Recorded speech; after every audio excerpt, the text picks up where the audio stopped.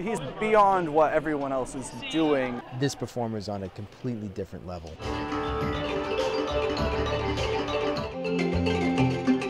Him on a synthesizer is like Picasso painted.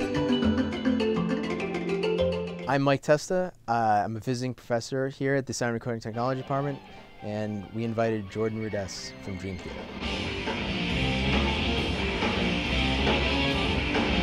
Even though I turned into this rocker guy, metal prog keyboardist at Dream Theater.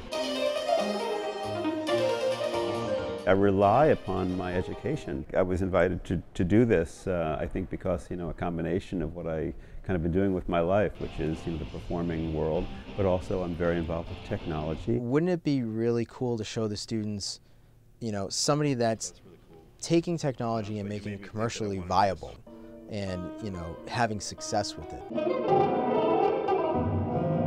I really wanted to play drums, so I figured if I could make a machine that did all the work and just a game controller, I'm all set. Hi, I'm Alicia.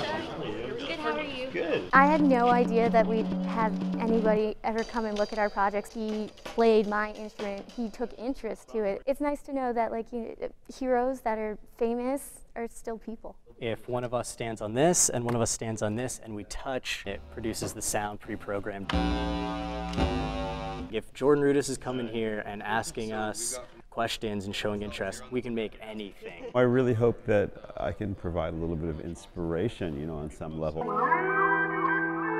You know, the world of sound is so exciting. There's inspiration there. It's just plain fun. Oh, it's neat. It's all fun.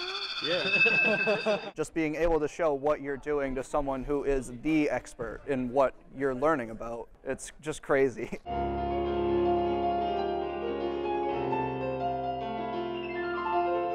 I don't think you needed to be a music aficionado to understand that what you were seeing on stage was something extremely special.